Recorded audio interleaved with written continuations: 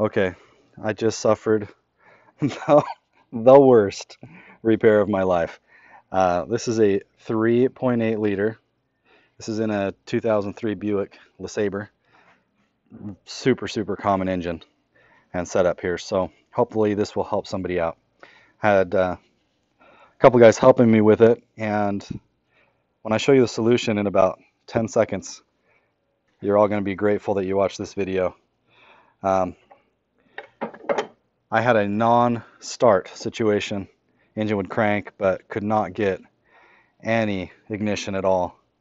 And after replacing the initial control, the ignition control module, a crank sensor, a cam sensor, and literally we just pulled our hair out. We all realized that this fuse block here is grounded on the bottom. And if you tighten all of these screws, you'll have full contact underneath. Believe it or not, everything else in my car worked except for the ignition until we turned these three screws. Voila, problem solved. And that was five days of diagnostics. It pains me to say that.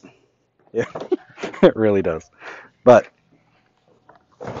as a bonus, my cigarette lighters immediately started to work.